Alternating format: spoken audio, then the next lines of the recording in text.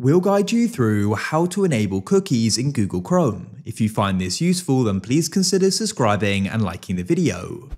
Cookies are essentially a bit of information which is stored on your computer and they're designed to go and improve your browsing experience and experience on a website.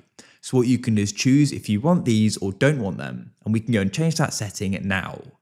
So to go and do this, you need to head to the top right of Google Chrome, and what you need to do is click on the three dots like so, come down this list of options and you'll see the option for settings. Click there.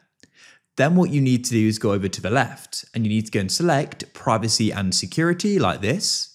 And you need to go and find the setting third party cookies. As you can see here, it says my third party cookies are blocked. So we can click on it. But there are a few different options here. You could block them in incognito mode, block them completely, or go and allow them. In this case, I'll click allow and that's it. So sites can use cookies to improve your browsing experience, for example, to keep you signed in. And it's that simple.